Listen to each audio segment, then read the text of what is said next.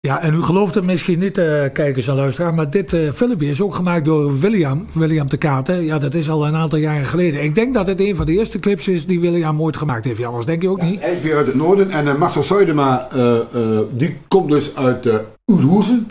En nou, ik ga u nu een primeur vertellen. De voorzitter van Steenwijk Marcel Seudema, was die man die in dat pak van het ijsbeer liep.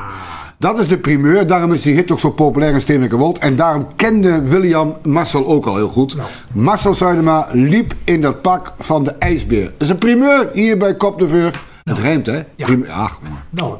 Ja, en we hebben ook nog weer wat te vieren, Nederlands. Althans, oh. er zijn een, uh, een aantal mensen uh, die zijn uh, 60 jaar getrouwd.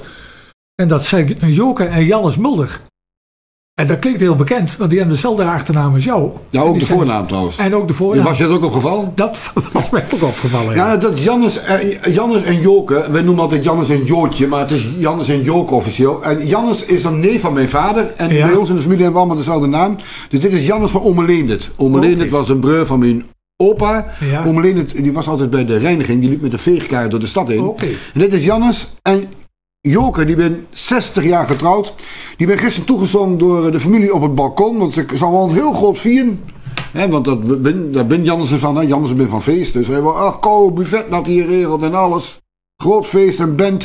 Dat gaat allemaal niet deur. Nee, dat is hartstikke jammer. Maar het zijn trouwe kijkers en luisteraars. Dus Henry, ik dacht, eh, daarvoor moeten we een plaatje doen. En ik weet zeker dat jij daar wat leuks voor gevonden hebt. Ja, we hebben een clip uit het cabaret, het Steenwijklied, want daar zijn ze groot fan van.